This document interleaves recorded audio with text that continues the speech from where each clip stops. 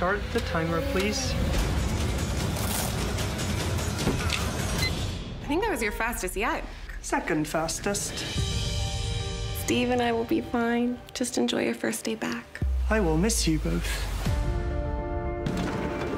Are you really gonna ignore Shaun and Steve and me forever? I'm not ignoring you. And he's beautiful. She's barely taking an ounce, and she seems lethargic. I'll take her to get checked out. Her blood flow is reduced. Eden needs a new aortic valve or her heart failure will get worse. I would like to join your case.